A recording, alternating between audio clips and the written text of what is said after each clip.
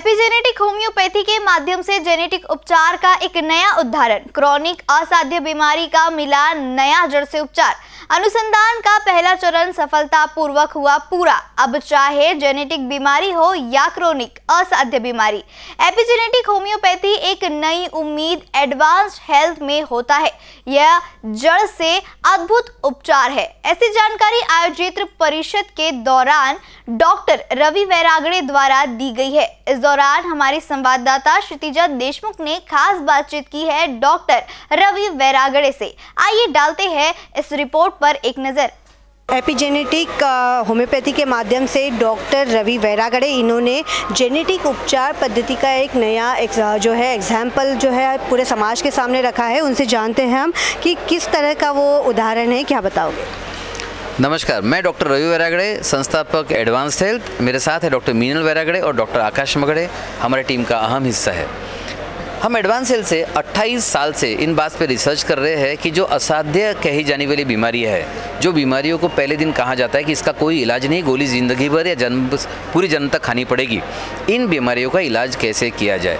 पूरा 28 साल रिसर्च करने के बाद हमें पता चला कि होम्योपैथी की थोड़ा उच्चतम लेवल जेनेटिक होम्योपैथी और एपी जेनेटिक होम्योपैथी पद्धति से अगर इलाज किया जाए तो ये बीमारी सॉरी ये बीमारियाँ रिवर्स भी हो सकती है और ख़त्म भी हो सकती है। ऐसी ही एक अद्भुत केस थी जेनेटिक डिफेक्ट की, जिसमें जो बच्चा जब पैदा हुआ तो इसे गुप्तांग नहीं थे।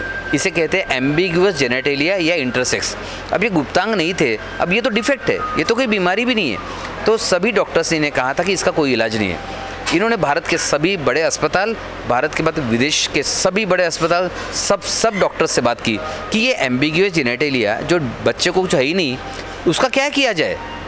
सबने कहा, ये बीमारी नहीं है, इसका तो उपचार संभव ही नहीं है। तो 16 साल का जब हो जाएगा ना तो हम प्लास्टिक सर्जरी करके इसे आपको जो जेंडर चाहिए, लड़की के गुप्तांग चाहिए तो लड़की के वाली प्लास्टिक सर्जरी कर देंगे, लड़के के गुप्तांग चाहिए तो वो प्लास्टिक सर्जरी कर देंगे और गुप्तांग लगा देंगे। अब पेरेंट्स के सामने सवाल था 16 साल तक ये बच्चा क्या बन के जिएगा, लड़का या लड़की? तो बहुत ही दुविधा में थे वो और बच्चे की लाइफ बहुत ही कन्फ्यूज़न में थी। तो ऐसे हम हम सेमिनार लेते थे पूरे ऑल ओवर इंडिया में तो ऐसे ही हम सेमिनार ले रहे थे, उसमें इसके ये बच्चे के पापा है उन्होंने कहा, सर जेनेटिक डिफेक्ट वाली केस है, आप लेंगे क्या? तो तब तक हमने जेनेटिक हेल्थ एक्सपर्ट बोल के पूरे इंडिया में और दुनिया में काम करना शुरू कर दिया था और ऑल ओवर वर्ल्ड से पेशेंट आज भी नागपुर आ रहे हैं। मतलब चाहे मॉरिशियस हो ऑस्ट्रेलिया हो लंदन हो फ्रांस हो दुबई हो, वहाँ से पेशेंट आज भी नागपुर आके इलाज कर रहे हैं। ये इलाज हम तब से शुरू कर चुके थे। तो हमने कहा था हम ये केस लेंगे। ऑब्वियसली गारंटी नहीं दे सकते बट ये केस चैलेंजिंग है। करना चाहिए, कोशिश तो करना चाहिए। उन्होंने कहा, सर, आप पहले डॉक्टर हैं जिन्होंने पूरी दुनिया में कहा, इसमें कुछ हो सकता है? तो चलिए ये केस आपको दिए, आप कीजिए इस पर। हमने उस पर काम शुरू किया। एपी जेनेटिक होम्योपैथी की सारी पद्धतियाँ लगा दी, सारी मेहनत की, हमारी पूरी टीम उसके पीछे थी। और ये करने के बाद डेढ़ महीने में बच्चे के गुप्तांग के एरिया में हलचल महसूस हुई। तीन महीने में पता चल गया कि शायद ये लड़का है। छः महीने में क्लियर हो गया कि ये कन्फर्म लड़का बनेगा।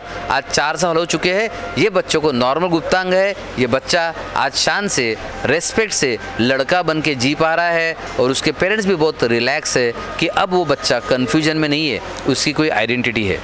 अब सोचिए, ये जेनेटिक में इतनी खतरनाक केस जिसका ऑर्गन नहीं है, वो डेवलप हो सकता है। तो फिर वो जो जो बीमारियाँ है क्रॉनिक बीमारियाँ जिसमें diabetes kidney failure liver failure cancers इनमें हमने कोशिश क्यों नहीं करना चाहिए? अब आप कहेंगे, सर, क्या इनमें भी संभव है? तो हमने ऐसे ही रिसर्च किया क्रॉनिक पेनक्रिएटाइटिस पर। इसके 500 से 600 से ज़्यादा केसेस हमारे पास है।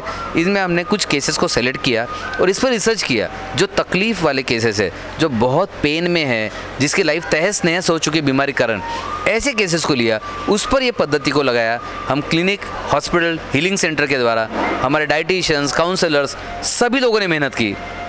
और पता चला कि ये जो केसेस है जो सारे बड़े से बड़े अस्पताल में ऑलरेडी जा चुके हैं भारत का जो सबसे बड़ा हॉस्पिटल आपको पता है ना वो वहाँ पर भी जा चुके हैं। सारे अस्पताल से वो हार चुके हैं और हमारे यहाँ पर उसे दो दिन में तीन दिन में और ज़्यादा से ज़्यादा पाँच दिन में नब्बे प्रतिशत लोगों को फ़ायदा होना शुरू हो गया। सो so, ये पाँच दिन में है उसके बाद हमने तीन सौ पैंसठ दिन इलाज किया पूरे साल भर का फॉलोअप लिया। इसमें ज़्यादातर लोगों की ज़िंदगी बदल चुकी है। पहले वो त्रस्त थे, तकलीफ़ में थे दर्द के कारण, आज वो लाइफ को एंजॉय कर रहे हैं फैमिली के साथ एक अच्छी ज़िंदगी जी रहे हैं। सो ऐसे ये अद्भुत एपिजेनेटिक होम्योपैथी का अवेयरनेस लोगों में फैलना चाहिए, इसलिए प्रेस कॉन्फ्रेंस अरेंज की गई, ताकि आज के बाद कोई भी व्यक्ति हिम्मत नहीं हारेगा, ना उम्मीद नहीं होगा, कि उसे पता है कि एपिजेनेटिक होम्योपैथी उम्मीद की एक किरण तो बाकी है। तो हमारे साथ थे डॉक्टर रवि वैरागड़े और इन्होंने जो है एपिजेनेटिक होम्योपैथी में जिस तरह के उदाहरण समाज के सामने रखे हैं इसका ज़रूर लाभ ले, ऐसी अपील भी उन्होंने की है। कैमरा पर्सन अजित कुंवर के साथ मैं क्षितिजा देशमुख बीसीएन न्यूज़ नागपुर।